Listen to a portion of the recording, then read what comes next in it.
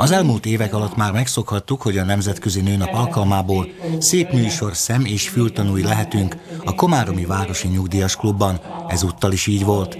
Verset és tréfás előadást is hallhattunk, de dalolta Klapka György férfi dalkör és Szabó Gyula. Énekeltek a Kapitány utcai óvodások, és meglepetésként a szlovák rebellisek is eljöttek a hölgyek ünnepére.